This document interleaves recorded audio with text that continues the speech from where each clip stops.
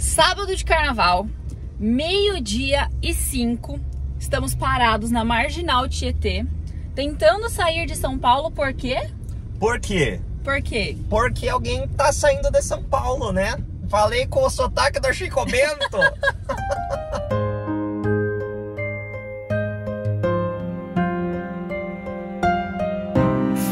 Estou saindo de São Paulo, tá vendo aqui atrás? Minha mudança. Estou de mudança para Foz do Iguaçu. Como disse, hoje é sábado, nossos planos são chegar em Foz segunda-feira. Então, vamos passear pelo caminho. As cidadezinhas que a gente for parando, os passeios que a gente for fazendo, eu vou mostrando tudo para vocês. Então, bora nessa aventura. Para mim é uma aventuraça porque eu moro na mesma casa desde que eu tenho, sei lá, dois anos de vida.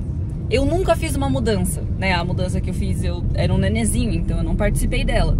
Então, pra mim tá sendo uma experiência fazer uma mudança e fazer essa viagem de carro também é uma experiência incrível. Então, estou muito ansiosa. Como eu disse, é sábado de carnaval, né?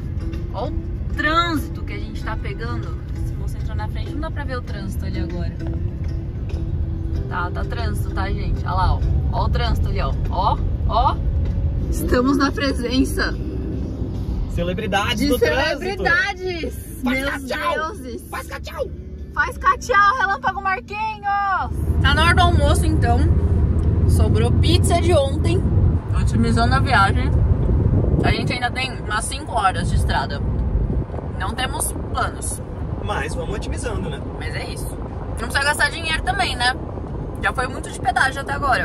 Então, o almoço é o resto de ontem. Restou de ontem. Cara, o Relâmpago Marquinhos de novo. Será que ele tá seguindo a gente? Porque a gente se perdeu e agora a gente se achou de novo. Ele tá seguindo a gente da frente? Da frente, é. Ele sabe pra onde a gente tá indo. E aí ele tá seguindo a gente, ele tá prevendo os nossos passos. Paramos pra tomar um café. Temos umas 3 horas de estrada, né? Não falando, a gente vai parar. Qual é o nome da cidade mesmo? Não falou que não sabe. É, eu esqueço o nome dessa cidade o tempo todo. Carambeí, lembrei. A gente vai parar em Carambeí hoje. Esse cafezinho de estrada. Aqui atrás ela tem um selfie-selfie, mas a gente almoçou nossas pizzas, né? Então não, não vamos comer. Se eu precisava de um cafezinho, tava batendo um som. Eu vou assumir o volante, ele vai assumir o rádio.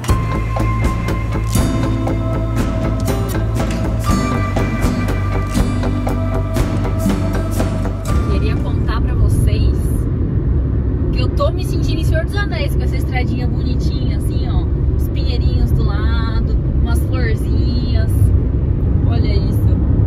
Fomos pra Nova Zelândia do nada. Quer dizer, fomos pra Terra-média do nada. mas olha a chuva que se aproxima, hein, minha galera. Aliás, a gente esqueceu de avisar, mas já faz um tempo que estamos no Paraná. É, é que não tinha aviso, do nada, Paraná. Exato, do nada tinha uma placa assim, tipo, Paraná, o supermercado do Brasil. Paraná na sua cara. E é isso, estamos no Paraná já, galera. Uhul! O primeiro moinho que vemos! Hum. Finalmente na Holanda! Hum. Ou melhor dizendo, como que é o nome do. A pequena Holanda. A Pequena Holanda. Chegamos na Pequena Holanda. Ah, a gente podia ter parado na Pequena Podia Holanda. mesmo.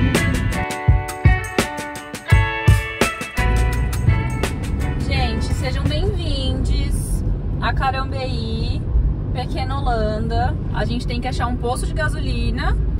Chegamos no hotel. Quarto 37 é o nosso quarto. Eu vou mostrar aqui pra vocês. Porque ele é um quarto um tanto diferenciado. Vocês viram que eu entrei por uma porta e tem essa outra porta estranha aqui, né? Leva a outro corredor. Então existem duas entradas pro quarto 37. E é um quarto gigantesco. Tem esse quartinho aqui com três caminhas de solteiro.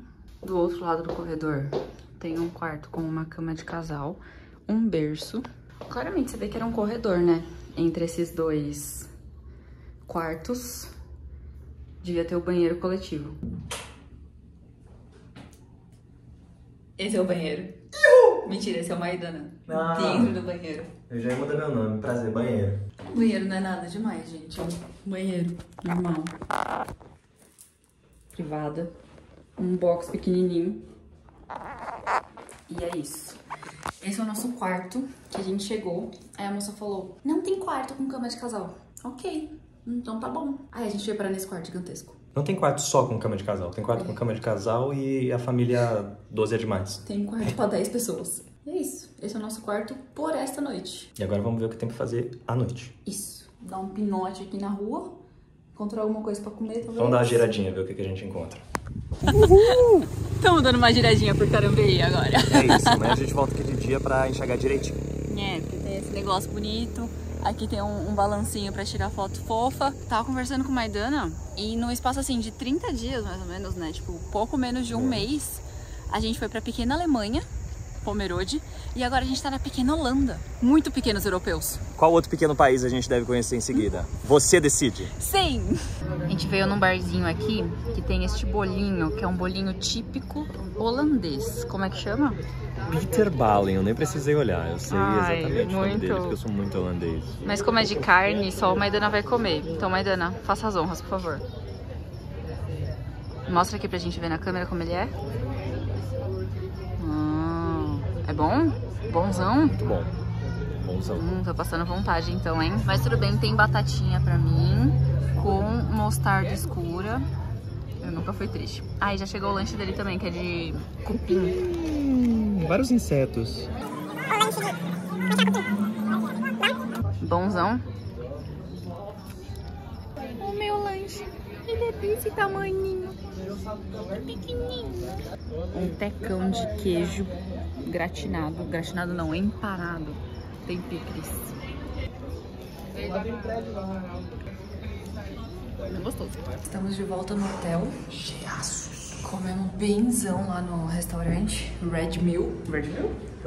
Red Mill. Então agora a gente vai tomar banho e dormir. Porque amanhã tem café da manhã aqui no hotel. Seis e meia da manhã, Bonzão. comer um montão. Vários passeios pra fazer amanhã. Então, boa noite.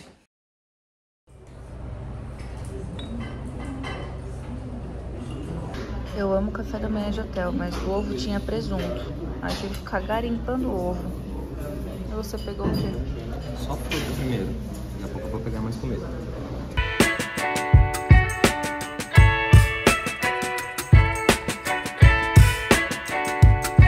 Agora estamos oficialmente começando o nosso segundo dia de viagem. Novamente aqui, na frente do letreirinho. Eu amo Carambeí, porque vamos passear pela cidade e vamos seguir viagem. Hoje temos duas paradas programadas? Temos duas paradas. Três, na verdade, né? São três cidades que a gente vai passar hoje. Ah, você tá falando das cidades, eu achei que era só aqui É, dentro. não, aqui dentro são algumas que vocês vão ver. Mas temos três cidades programadas para hoje também. Esse é o plano de hoje. Vamos ver se dá certo. Vamos ver se dá certo.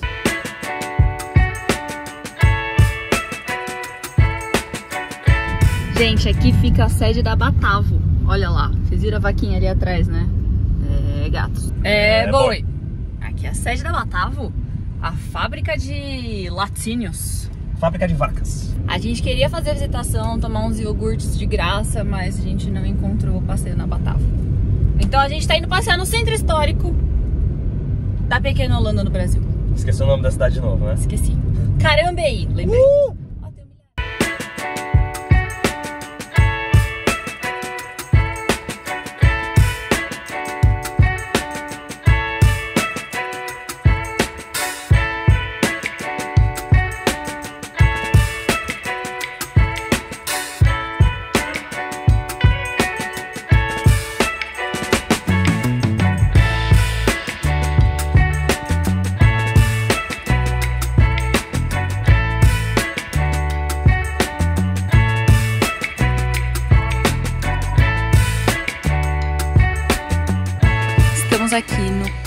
Histórico de Carambeí, onde tem réplicas de moradias e outras coisinhas da Holanda e réplicas das coisinhas antigas da cidade, né? Tipo a estação de trem antiga. E aí, isso aqui atrás é alguma réplica de igreja, mas tem um, um moinho de, de água girandinho, tem várias casinhas Tábulo. estábulo, é, várias coisas antigas, tipo objetos antigos. E é isso, a gente vai mostrar pra vocês o que tem pra fazer aqui.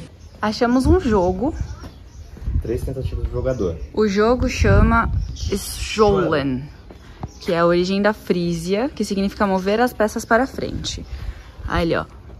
Vai. Vamos lá. Mova os discos para frente. É tipo uma bote de... Ai, você tem que acertar ali no buraquinho.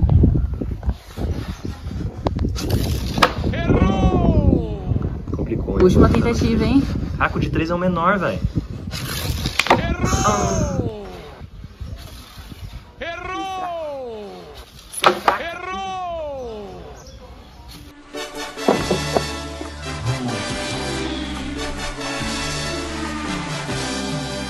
Eu tenho um, um ponto. Já ganhou.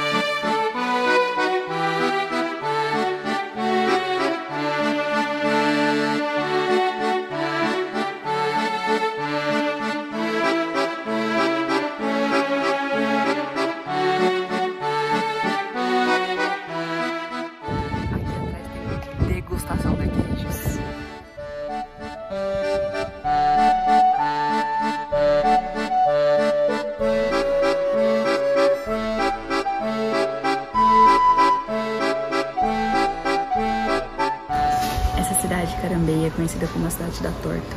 Então, a gente teve que pedir uma torta. Hum. Aí tem essa partezinha aqui pra baixo que é pra imitar a Holanda mesmo, né? Então aqui atrás os canais holandeses com o moinhozinho e as casinhas ali atrás. É um passeio muito bonitinho vir aqui. Muito fofinho. A vista daqui também é mó bonita. É, olha só que vistona. Meio fazendas, né? Várias fazendonas. A nossa pequena Holanda brasileira. Fofo. É um belo passeinho. A gente tá mais fazendo um rally do que indo pro próximo passeio. Mas o próximo passeio é um mirante natural. E a gente tá indo descobrir o que, que é esse mirante natural. Se for legal, vocês vão ver. Se não for legal, vocês vão ver também. E só tem a gente nessa estradinha de terra aqui. Tá legal. Ó, ó rally. Vamos ver se dá certo. Gente, teoricamente é isso aqui o mirante. Essa pedra dentro de uma propriedade privada atrás do arame farpado. Fomos tapeados. Fomos tapeados. É, é isso aqui, era pra gente subir ali e tirar fotos ali de cima. Tá bonita a vista? Estávamos enganados. É mais pra frente, achamos o mirante. Não precisa invadir propriedade alheia, Isso, tá? não precisa. Ainda não é nada demais. É isso aqui, essa pedra. Veja, Simba. Tudo que o sol toca é de alguém que não é seu. Estamos escalando pedra aqui, ó. Mó legal. Uma montanha a ser escalada. Sobrevivemos! Seguindo a estrada, normal. O buraco que a gente tem que passar. Meu Deus, que medo. Sobrevivemos à cratera das crateras no meio da estrada. Gente, não venham se vocês não tiverem um 4x4 muito não. alto. O HB20 tá sofrido aqui, coitado. A gente tá sofrido aqui. Mas tá dando certo. Mas não façam isso. Isso daí é muita areia. A gente não tá conseguindo subir com o carro. Socorro. Gente, não deu certo passar por lá. Tamo voltando.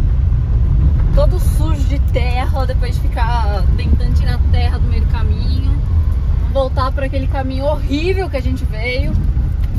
E é o que tem pra hoje. E é o que tem pra hoje. Estamos indo embora de Carambeí. com Não essa- vale a pena o mirante, O gente. mirante não vale a pena, sério. É um miranteco, vocês viram aí, um negocinho desse tamanico. Pra essa estrada horrível aqui. A gente deu sorte que todo o resto não tava de areia fofa que nem aquele. Mas olha esse negócio aqui, essa ribanceira. Vamos ver se dá certo.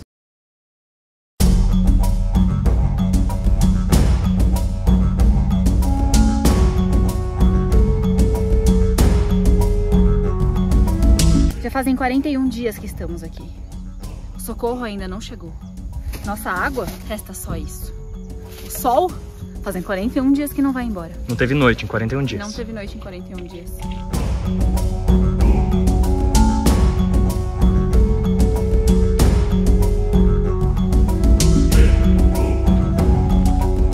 Eu voltei com uma faca e papel. Essa viagem, essa aventura lá pra baixo me transformou em outra pessoa. Agora eu sou perigosa. Existem almas boas no mundo. Passou um carro, um não, três carros ali com quantas pessoas? Sei lá, umas sete pessoas. E aí os meninos foram ajudar o Maidana a empurrar o carro. Gente, olha isso, eu tô roxa, eu tô vermelha de ficar no sol. Isso que eu passei protetor antes da gente sair do hotel de manhã. Tá muito forte o sol. Mas é isso, deu tudo certo. Estamos indo embora agora, não vai ter mais passeio. Bora! Vai pro hotel tomar banho. Qual hotel, não sei, mas a gente vai pro hotel tomar banho, é isso. Vai almoçar, porque são 4h25 da tarde. Não comemos um torresmo. Não comemos nada. Revelação no cabelo? Eu preciso de água pra beber, água pra me limpar. E aguardente, vai ficar bem louco depois disso aqui.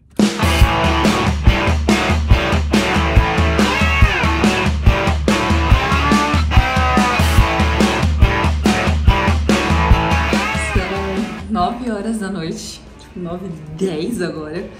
A gente acabou de chegar aqui no nosso hotel. Um hotelzinho de beira de estrada. Com uma pintura assombrada. Foi em cima deste cemitério indígena que esse hotel foi construído. Então, eu que vou dormir agora. Vocês que devem estar vendo esse vídeo, sei lá, são 3 horas da tarde agora, né? Mas deu tudo certo. Apesar de ter dado tudo errado, né? Os nossos planos deram errado, mas deu tudo certo. Tem ar-condicionado, estamos vivos. Tem ar-condicionado, tem frigobar, a gente vai poder colocar nossa aguinha pra deixar geladinha. E tem restaurante e café da manhã. Vamos a gente ver. vai tomar um banho pra tirar essa roupa cheia de terra do nosso atolamento. E a gente vai comer. Banho tomado. Vamos de jantarzinho. Ó, ali é a estrada. E aqui é o hotel do Palmeiras, meu Palmeiras, meu Palmeiras. Pó, pó, pó, pó, pó. Dia 3 da viagem começando. Segundo café da manhã de hotel. É, mas hoje o ovo não tem presunto. Uma vitória. Então é isso. É oficial. É o começo do fim. É o começo do fim, agora é o vai. começo do fim. Agora vai, versão final ponto TXT.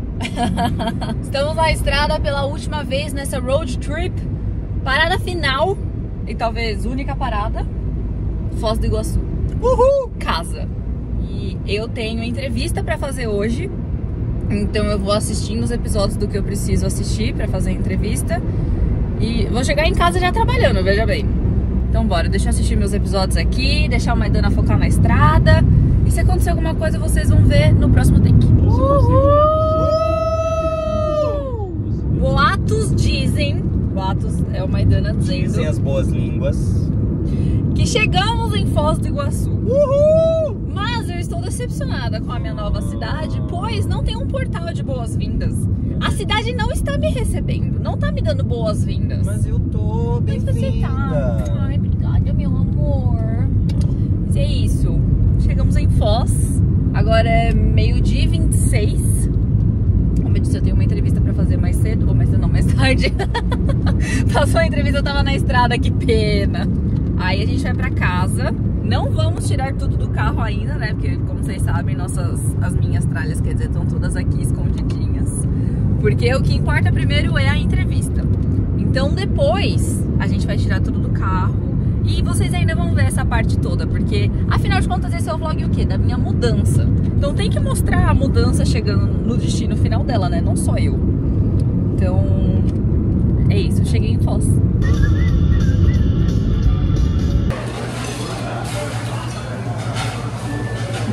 Oiê! Oi! Oi, meu amor, chegamos! A gente chegou em casa. Né, meu pitico? Tá inspecionando se tá tudo certo aí? Essas coisas podem entrar aqui em casa? Então vão entrar. Se você liberou, tá liberado, né? A gente tá aqui suando, subindo dois andares e descendo dois andares pra trazer as coisas. E o Dominique tá onde? Onde você tá? Na folga, né? Ajudou fazendo o quê? Nada, tudo isso de coisa aqui. Você trouxe alguma? É. Vem aí a última caixa da mudança. Uh! Gente, tava tudo isso aqui dentro do carro. E mais os livros.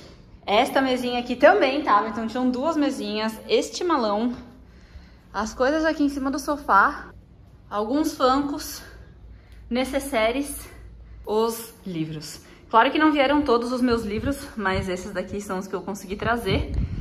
E em breve eles terão um novo lar. Então agora, 1h57 da tarde, segunda-feira de carnaval, estamos em casa Ensopados. com o nosso criancinho. Revoltado. Mas tá feliz que a gente chegou e acabou a mudança. Agora banho E, e, entrevista. Partiu o trabalho. Tchau.